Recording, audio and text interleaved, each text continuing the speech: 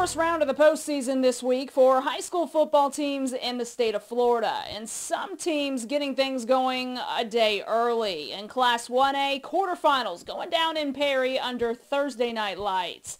The Bulldogs hosting Jefferson County. Winner go home time. Taylor County on the board first. Kevis Thomas on fourth down, going for it. Finds a crease and runs straight into the end zone for six points. Bulldogs go up 8-0 after the two-point conversion. Jefferson County answers right back. This pass caught by Ajari Harris, and then it is off to the races. Harris won't be stopped all the way in for six. Miss PAT makes it an 8-6 ball game. That's all the Tigers can do, though. Taylor County wins this one 28-6. Bulldogs are moving on.